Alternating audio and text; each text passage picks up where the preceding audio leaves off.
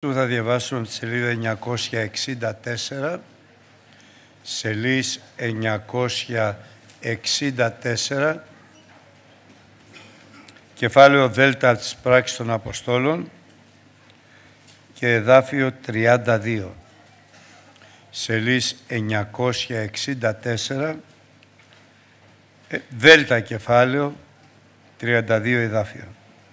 Του δε πλήθους των πιστευσάντων, η καρδία και η ψυχή το μία. Και ο Δέης έλεγε ότι είναι εαυτού τι εκ των υπαρχόντων αυτών, αλλά είχαν τα πάντα κοινά. Και με τα δυνάμεως μεγάλης απέδιδαν οι Απόστολοι τη μαρτυρία της Αναστάσεως του Κυρίου Ιησού και χάρις μεγάλη το επιπάντα σε αυτούς. Επειδή ουδέοι το τις μεταξύ αυτών ενδεείς, διότι όσοι ήσαν κτήτορες αγρόνιοι οικειών πολλούντες έφεραν τα στιμά των πολλουμένων και έθεταν εις τους πόδας των Αποστόλων και διεμοιράζε το εισέκαστον κατά την χρίαν την οποία νύχεν. Και ο Ιωσής ο επωνομαστής υπό των Αποστόλων Βαρνάβας, το οποίο με θερμινευόμενο είναι Υιός παρηγορίας, Λεβίτης, Κύπριος το γένος, έχων αγρόν επόλυσε και έφερε τα χρήματα και έθεσε εις τους πόδας των Αποστόλων. Άνθρωπος δε της Ανανίας το όνομα, μετά της γυναικούς αυτού Σαμφύρας, επόλυσε κτήμα και κράτησε από τη στιγμή εν γνώση και της γυναικός αυτού και φέρον μέρος τι έθεσε στους πόδας των Αποστόλων. Κι είπε ο Πέτρος Ανανία, γιατί εγέμισε ο σατανάς την καρδία σου ώστε να ψευστείς εις το Πνεύμα του Άγιον και να κρατήσεις από τη τιμής του αγρού; Ενώ έμενε δεν είναι το σου και αφού επολύθη δεν είναι το εν τη εξουσία σου. Γιατί έβαλες εν, το, εν την καρδία σου το πράγμα τούτο, δεν εψεύστης στις ανθρώπους, αλλά εις τον Θεόν. Ενώ δε ήκουσε ο Ανανίας λόγους τούτους, έπεσεν και εξεψύχησε. Και επέπεσε φόβος μέγας επί πάντας, τους ακούοντας ταύτα. Σηκωθέντες δε οι νεότεροι ετήληξαν αυτόν και εκβαλώντες έθαψαν. Μετά δε περίπου τρεις ώρας εισήλθε η υγιεινή αυτού μη εξεύρουσα το γεγονός και απεκρίθη προς αυτήν ο Πέτρος «Υπέμι, δια τόσων επουλήσατε τον αγρόν». Και εκείνη είπε «Ναι, δια τόσο». Και Πέτρος είπε προς αυτήν «Γιατί συμφωνήσατε να πειράξετε το πνεύμα του Κυρίου, ειδού στην θύραν οι πόδες των θαψάντων τον άντρα σου και θέλουν συνεκβάλει και σε». Και έπεσεν παραυτής εις τους πόδας αυτού και εξεψύχησεν. Εισελθόντες δε οι νεανείς και έβρον αυτοί νεκράν και εκβαλώντες έθαψαν πλησίον του ανδρός αυτής. Και επέπεσε φόβος μέγας εφόλην την εκκλησίαν και επί πάντα σου ακούοντας τα αυτά. Πολλά δε σημεία και τέρατα εγίνοντο εν το λαό δια των χειρών των Αποστόλων κι ήσαν ομοθυμαδόν άπαντες εν της στοά του Σολομώντος. Εκδέτων λοιπόν ουδήσε τόλμα να προσκοληθείς σε αυτούς. Ο λαός όμως σε μεγάλυνεν αυτούς και προσετίθεντο μάλλον πιστεύονται στον Κύριον πλήθη ανδρώντε και γυναικών, ώστε έφερον έξω εις τα σπλατεία στους ασθενείς και έθετον επικλινών και καρβάτων, δια να επισκιάσει καν η σκιά του Πέτρου ερχομένου την άεξ αυτών συνήρχε το δε και το πλήθος των πέριξ πόλεων εις Ιερουσαλήμ, φέροντες ασθενείς και ενοχλουμένους πνευμάτων ακαθάρτων, ήτινες εθεραπεύοντο άπαντες. Αμήν. Ήλθε το πλήρωμα του χρόνου. Ήλθε ο καιρός της οψίμου βροχής, που ο Θεός έκαμε θαυμάσια, τεράστια και μεγαλεία στην εκκλησία Του Προσετέθησαν την πρώτη μέρα 3.000 ψυχές, αργότερα 5 και στο τέλος πλήθος, ακόμη και ιερέων, προσετίθοντος στην Εκκλησία. Και η Εκκλησία ήταν σε τέλεια κατάσταση. Συνειρμοσμένη ομού.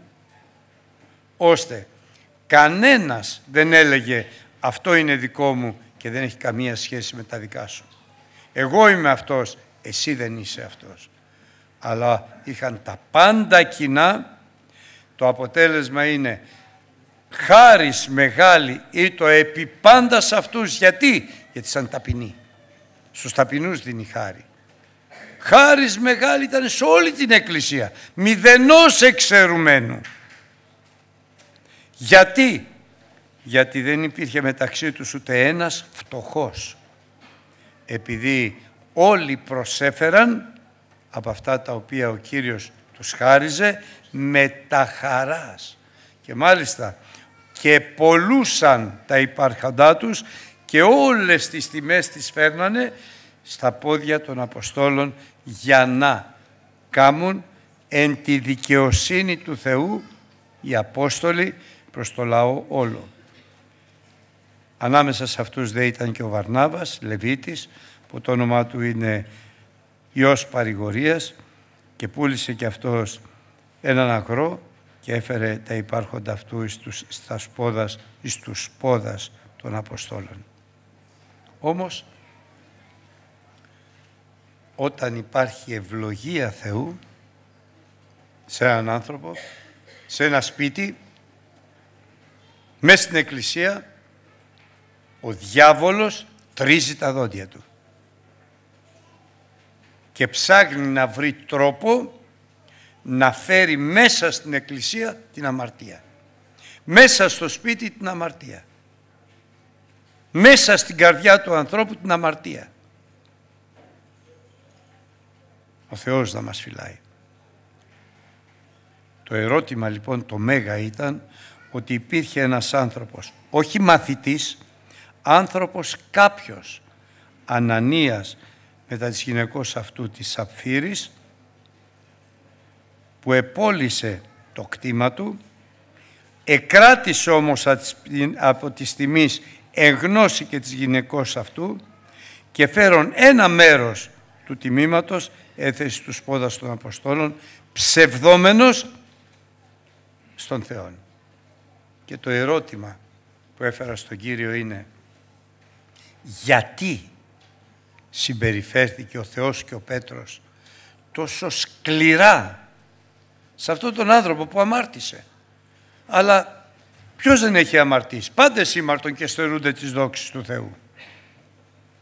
Γιατί σε αυτόν τον άνθρωπο συμπεριφέρθηκε τόσο σκληρά που δεν του έδωσε την ευκαιρία από τα όσα θα πάθαινε να μάθει. Και μου είπε ο Κύριος, εάν δεν έφευγε από τη μέση ο Ανανίας και η Σαπφύρα, τότε θα έφευγε το Πνεύμα του Άγιο. Φοβερό δεν είναι αδερφοί.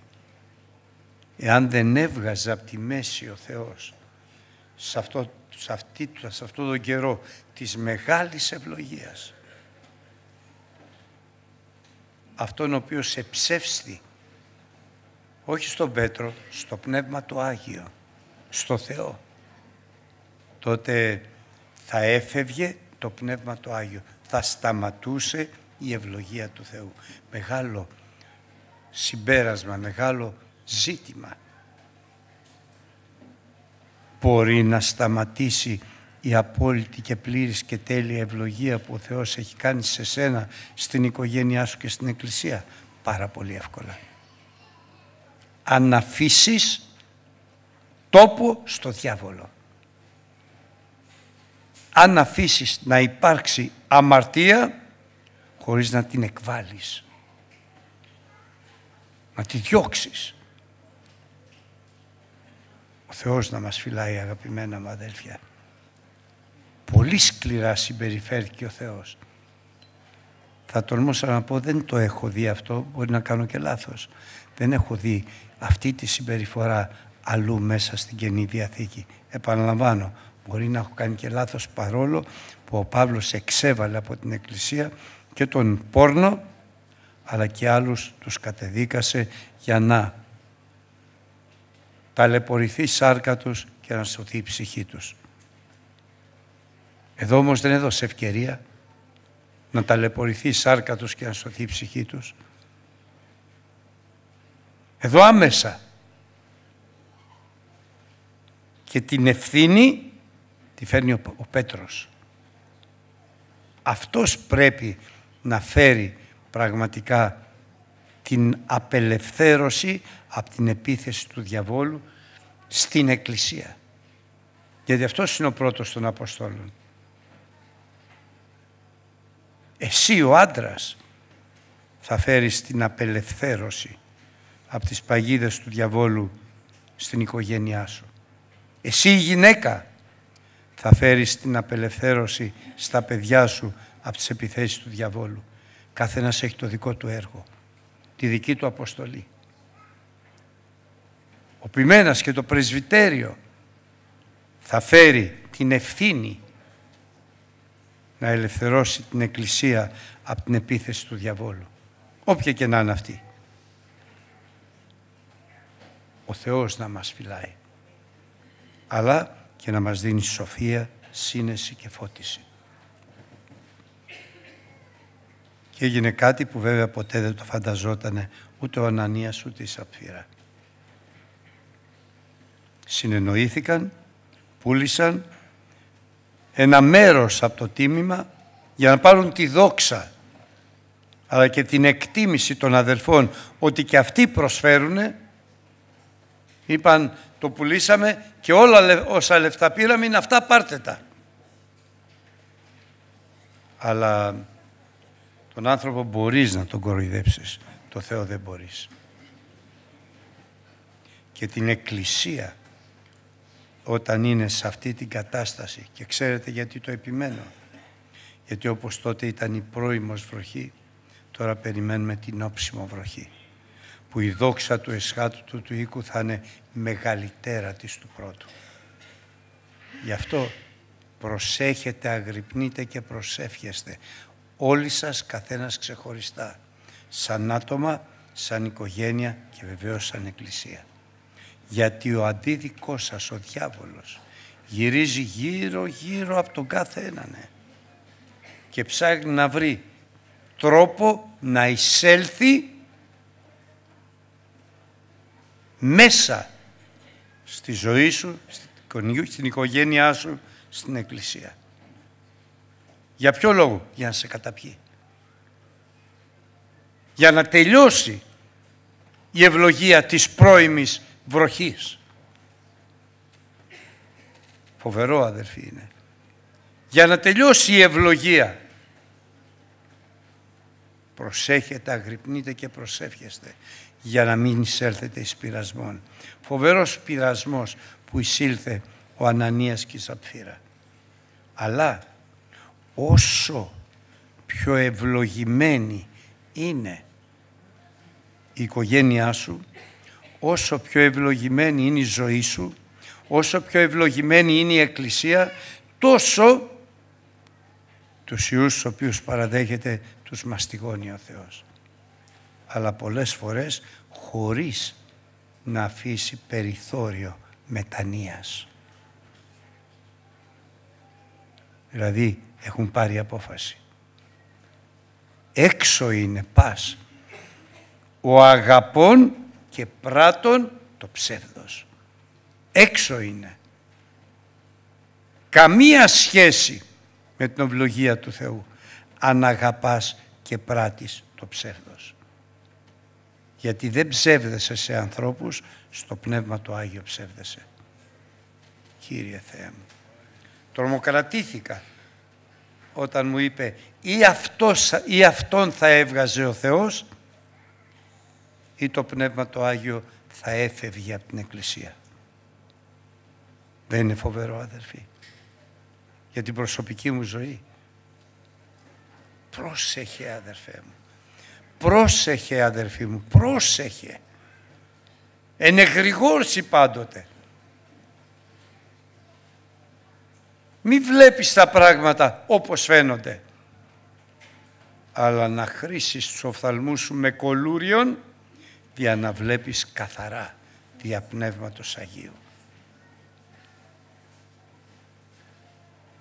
Έτσι λοιπόν όταν ήρθε ο Ανανίας και του είπε το πουλήσαμε και αυτά πήραμε του λέει ο Απόστολος Πέτρος γιατί ακούτε αδερφοί το μυστήριο και το μυστικό; Γιατί εγέμισε ο σατανάς στην καρδιά σου ώστε να ψευστείς το Πνεύμα το Άγιο και να κρατήσεις από τις τιμές; Γιατί γέμισε, γιατί άφησες το σατανά να γεμίσει την καρδιά σου με ψέμα; Γιατί, πρόσεχε, με τα πάσης φυλάξεως η μου φύλατε την καρδία σου. Εκ ταύτης προέρχονται πάσε εκβάσεις στη ζωή σου. Ιδιαίτερα δε όταν υπάρχει η μεγάλη ευλογία στο σπίτι σου, στη ζωή σου, η καρποφορία αλλά και στην εκκλησία. Και αυτό το οποίο περιμένουμε τώρα είναι τον ιετό τον καιρό της οψίμου βροχής. Όμως προσέχετε. Μην αφήνεις την καρδιά σου ανοιχτή. Μην αφήνεις την καρδιά σου εκτεθειμένη στα βέλη του εχθρού τα πεπειρωμένα. Μην αφήνεις. Έχουμε το αίμα του Ιησού Χριστού που καθαρίζει μας από πάσης αμαρτίας. Άμεση μετάνοια. Για την περασμένη Κυριακή έκανα λάθος γιατί είπα σήμερα θα μετανοήσουμε για όλες τις αμαρτίες της εβδομάδος. Όχι βέβαια. Όχι βέβαια. Δηλαδή αν γίνει, γινόταν εχθές η, η αρπαγή δεν θα είχα μετανοήσει. Άμεση μετάνοια. Μην αφήνεις την καρδιά σου εκτεθειμένη. Ποτέ. Κάθε στιγμή. Με τα πάσης προσοχής φύλατε την καρδία σου. Πρόσεχε, αγρύπνα, προσεύχου. Είμαστε σε εμπόλεμη κατάσταση. Ο διάβολος δεν παίζει είναι παμπώνυρος, είναι πανούργος, είναι ψεύτης, είναι ανθρωποκτόνος απαρχής. Ο Θεός να μας φυλάει αδερφοί. Καθώς μάλιστα βλέπουμε τα σημεία να έρχονται όλο και πιο κοντά μας. Φοβερό σημείο αυτός ο πόλεμος στο Ισραήλ. Φοβερό. Οδύνες, εγκυμονούσεις. Κλιματολογική κρίση, φοβερό. Πλημμύρες. Ξέρετε ότι η λίμνη του Μαραθώνα είναι σχεδόν άδεια. Και περνώντας για τη Λιβαδιά κοίταξε και τη λίμνη της, ε, της Τύρφης, της Ηλίκης και είναι άδεια. Και διάβασα ότι στην Ισπανία το νερό το δίνουν με δελτίο. Αλλού πλημμυρίζει και στο Ντουμπάι. Πνίγει και το Ντουμπάι. Το αεροδρόμιο του, στο αεροδρόμιο του Ντουμπάι τα αεροπλάνα είχαν γίνει υποβρύχια. Αδερφοί, ο Κύριος έρχεται. Αλλά εκείνο που σημασία είναι προσέχετε. Στάσου μπροστά στον καθρέφτη που είναι ο Λόγος του Θεού και δες και έλεγξε τον εαυτό σου. Μην κοιτάς τους άλλους. Τον εαυτό σου κοίτα. Γιατί αν κρίνεις τους άλλους θα κριθείς. Αν κατακρίνεις τους άλλους θα καταδικαστείς. Τον εαυτό μου για να μετανοώ άμεσα, όχι την Κυριακή για όλη τη βδομάδα όπως ανοήτως είπα εγώ, αλλά αυτή τη στιγμή για κάθε τι που κάνω που πραγματικά λυπεί το Πνεύμα το Άγιο. Αμήν αδερφοί μου. Τα πράγματα δεν είναι απλά. Και όσο πιο πολύ πλησιάζουμε προς το τέλος, τόσο πιο πολύ τα πράγματα θα γίνονται πιο δύσκολα. Για μας. Και το μόνο που μας σώζει είναι να ανέβουμε στο όρος του οίκου του Κυρίου που θα υψωθεί, θα γίνει εμφανές και θα υψωθεί περάνω πάντων των βουνών. Εκεί θα υπάρχει ασφάλεια. Εκεί δεν θα επιτρέπει ο Θεός τον διάβολο να εισέλθει. Αλλά να ανέβουμε. Και ξέρετε πότε ανεβαίνουμε. Ο Λόγος του Θεού λέει όλοι θα αποκάμουν και οι εκλεκτοί νέοι θα αποκάμουν. Μόνο οι προσμένοντες στον Κύριο δεν θα αποκάμουν γιατί σε αυτούς ο Θεός θα ανανεώνει τις δυνάμεις τους σαν τους αετούς και θα τους δώσει φτέρα να ανέβουν στο όρο στο Άγιο. Εάν ο Κύριος δεν σου δώσει πτερά δύναμης Πνεύματος Αγίου, στο όρος στο Άγιο δεν ανεβαίνεις. Εκεί είναι η ασφάλεια. Εκεί έχει εκδιώξει και εκδιώκει ο Θεός τον διάβολο και δεν τον αφήνει να μπει. Εδώ είναι η ασφάλεια. Στην Εκκλησία του Θεού διώχνει τον διάβολο, διώχνει τον Ανανία που έπρατε και αγαπούσε το ψεύδος. Και έμεινε το Πνεύμα το Άγιο. Και τώρα μένει ακόμη σαπφύρα. Γυρίζει μετά από τρεις ώρες. Και του ρωτάει ο Πέτρος, για τόσο πουλήσατε τον αγρό. Λέει, ακριβώς για τόσο. Τώρα πριν λίγο πήρανε οι νέοι το σώμα του άντρα σου και θα πάρουν και το δικό σου. Γιατί το κάνατε αυτό; Δεν ήταν στην εξουσία σου. Δεν ήταν στην εξουσία σου το χωράφι. Δεν ήταν στην εξουσία σου το τίμημα. Γιατί είπες ότι όλο το έδωσες; Γιατί ψεύστηκες; Αγαπημένα μου αδέλφια, ο Θεός να μας φυλάει. Προσέχετε. Προσέχετε αγρυπνείτε και προσεύχεστε. Έξω είναι πάσο αγαπών και πράτων το ψεύδος. Και αμέσως μετά κατεβαίνει η παρουσία του Θεού. Φόβος μέγας επέπεσε όχι μόνο μες στην εκκλησία, ξέρεις θα πει φόβος; Ο φόβος του Θεού οδηγεί τον άνθρωπο στο να περπατάει ακριβώς στο Λόγο του Θεού. Μόνο ποιος δεν φοβάται το Θεό περπατάει όπως αυτός νομίζει. Ο φόβος του Θεού οδηγεί τον άνθρωπο να περπατάει ακριβώς και να λατρεύει και να δοξολογεί τον Θεό εν πνεύματι Αγίο και εν αληθεία. Αυτούς τους προσκυνούντας θέλει ο Πατέρας Θεός, τους λατρεύοντας εν πνεύματι Αγίο και εν αληθεία. Φόβος μέγας επέπεσε. Και όχι μόνο μέσα στην εκκλησία, αλλά και πάντες τους ακούοντας τι κάνει ο Θεός και για τους έξω. Η φήμη του Πνεύματος του Αγίου εκχέται έξω της εκκλησίας. Γιατί πρέπει αυτοί έξω να έρθουν μέσα και έγινε αυτό. Με αποτέλεσμα πολλά σημεία και τέρατα εγίνοντο εν το λαό δια των χειρών των Αποστόλων από το Θεό. Όχι από μένα, όχι από τον Πέτρο, όχι από τον Ιάκωβο, όχι από τον Παύλο. Πολλά σημεία και τεράστια γίνονται στην Έφεσο δια των χειρών του Αποστόλου Παύλου από το Θεό. Ουχή εγώ ο Κύριος. Ο Θεός να μας φυλάει. Φόβος μπήκε στην καρδιά μου αδερφοί. Εάν αφήσω τον Ανανία στη ζωή μου, στο σπίτι μου, στην εκκλησία, θα φύγει το Πνεύμα το Άγιο. Θα σταματήσει η ευλογία του Θεού. Το αίμα σου Χριστέ μου. Γι' αυτό αγαπημένα μου αδέλφια, προσεκτική. Με τα πάσης προσοχής. Να προσέχουμε να πράττουμε κατά πάντα το Λόγο του Θεού.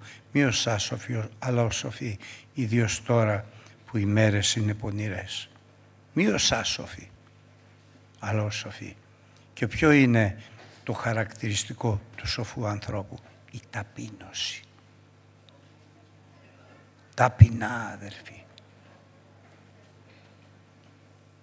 Υπερέχοντες όλοι οι άλλοι.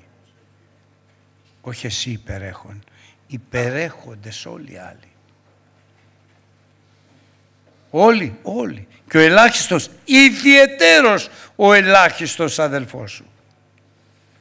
Ιδιαιτέρως ο ελάχιστος αδελφός σου.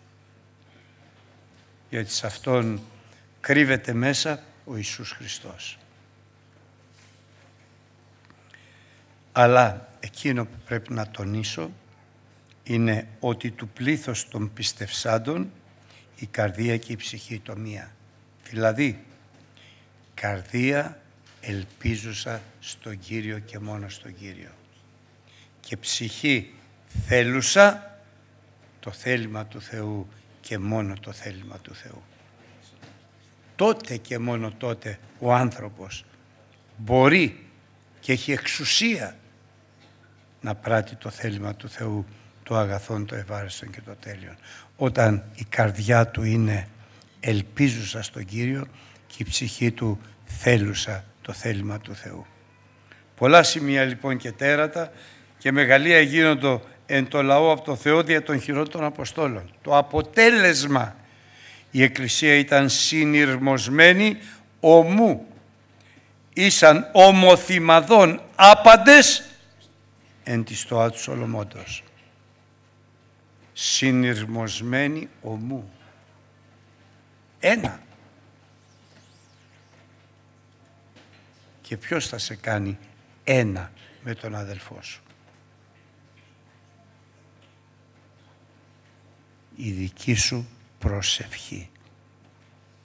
Εάν τον αδελφό σου το κρίνεις και τον θεωρείς υποδέστερο, κινδυνεύεις εσύ και η οικογένειά σου. Γιατί ακόμη δεν έχει έρθει μεγάλη ευλογία για να υπάρξει η απώλεια. Τώρα είμαστε πριν. Τώρα είναι θα μάθεις από αυτά που θα πάθεις. Κύριε, σε παρακαλώ, βόηθαμε να μαθαίνω από το Λόγο Σου και όχι από τα παθήματά μου. Βέβαια ο Ιησούς Χριστός αν και Υιός Θεού έμαθε εξ όσων έπαθε.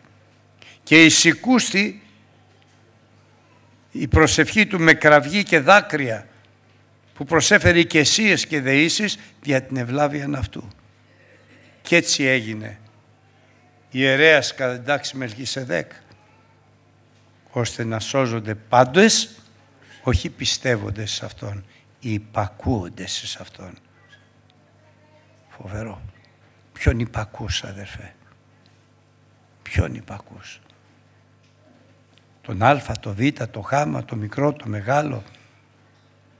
Τον άντρα σου, τη γυναίκα σου. Όχι αδερφοί αγαπητοί. Τον Ιησούν Χριστόν, τον Υιόν του Θεού του Ζώντος υπακούμε. Μόνο Αυτόν. Μόνο Αυτόν. Μόνο το Ευαγγέλιο του Ιησού Χριστού σώζει πάντα το πιστεύοντα. Γιατί μόνο από το Ευαγγέλιο του Ιησού Χριστού αποκαλύπτεται όλη η δικαιοσύνη του Θεού. Και μόνο με το Ευαγγέλιο του Ιησού Χριστού ο άνθρωπος μπορεί να περπατάει από πίστη σε πίστη και από δόξα σε δόξα. Το αποτέλεσμα κανείς δεν τολμούσε από το φόβο του Θεού να προσκοληθεί σε αυτούς. Πού θα πάμε εκεί μέσα, χαθήκαμε. Όμως ο λαός του Θεού, υπάρχει λοιπόν το κανείς και υπάρχει και ο λαός του Θεού. Κανείς εκ του κόσμου τούτου, φόβος Θεού, μπορούσε να προσκοληθεί. Ο λαός όμως του Θεού εμεγάλινε την Εκκλησία του Θεού και προσετίθεντο δια του Ιησού Χριστού μάλλον πιστεύοντες εις τον Κύριον πλήθη. Γι' αυτό έβγαλε ο Θεός από τη μέση τον Ανανία και την Σαφύρα για να προσθέτει ο Χριστός δια Πνεύματος Αγίου πλήθη και ανδρών και γυναικών πράγμα το οποίο θα συμβεί σε λίγο στην Εκκλησία του Θεού του Ζώντος, στον οίκον του Θεού του Ζώντος. Αλλά τότε τα πράγματα θα είναι πολύ επικίνδυνα. Πάρα πολύ επικίνδυνα. Και μάλιστα να το διαβάσω μια φορά ακόμη καθώς το διάβασα και σπίτι μου. Έξω είναι οι κίνες, τα αγριόσκυλα, αυτοί που γαυγίζουν, αυτοί που μαλώνουν, αυτοί που φωνάζουν, Έξω είναι οι μάγοι που ασχολούνται, οι φαρμακοί που ασχολούνται με μαγείες. Έξω είναι οι πόρνοι που πορνεύουν. Έξω είναι οι φωνείς. Έξω είναι οι δολολάτρες. Και έξω είναι πάσο αγαπών και πράτων το ψεύδος. Όμως αυτός είναι ο κόσμος. Ο λαός του Θεού εμεγάλινε την Εκκλησία και, το, και την κεφαλή της Εκκλησίας τον Ιησού Χριστό και πλήθος ανδρών και γυναικών προσετίθεντο από τον Ιησού Χριστόν στην Εκκλησία και όχι μόνο αυτό αλλά και όλοι όσοι είχαν ασθενείς αυτό περιμένουμε τώρα αδερφοί γιατί υπάρχουν ασθενείς πολλοί ανάμεσά μας. Αλλά ποιος θα τους θεραπεύσει; Βεβαίως θα προσευχόμαστε στον προσωπικό μας αγώνα ο καθένας. Γιατί η προσευχή είναι προσωπικός και οικογενειακός αγώνας. Μόνο. Και η Εκκλησία προσεύχεται. Αλλά είναι προσωπικός και οικογενειακός αγώνας. Δεν το ξέρει κανένας. Αυτός έχει το αποτέλεσμα. Εκεί δοξάζεται ο Θεός.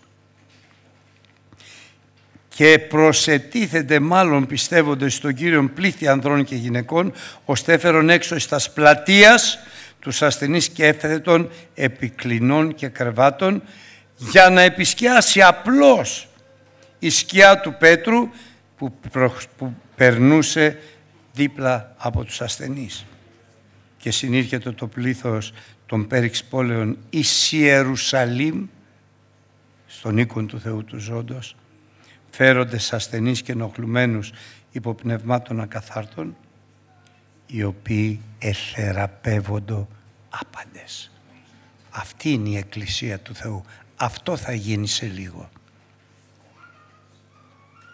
Εθεραπεύοντο άπαντες με τη σκιά του Πέτρου γιατί εξέβαλε ο Πέτρος εκ μέσου της Εκκλησίας τον Ανανία και τη Σαφύρα. Και έμεινε ο παράκλητος στο πνεύμα της αληθείας. Και αυτό είναι αδερφοί αγαπητοί που πρέπει να κάνω και εγώ. Μαζί με τη γυναίκα μου. Τώρα δεν έχουμε παιδιά, έχουν φύγει. Αλλά εγώ και η γυναίκα μου που είμαστε ένα, αλλά και ο καθένας από εμάς με την οικογένειά του αυτό πρέπει να κάνει. Ένα.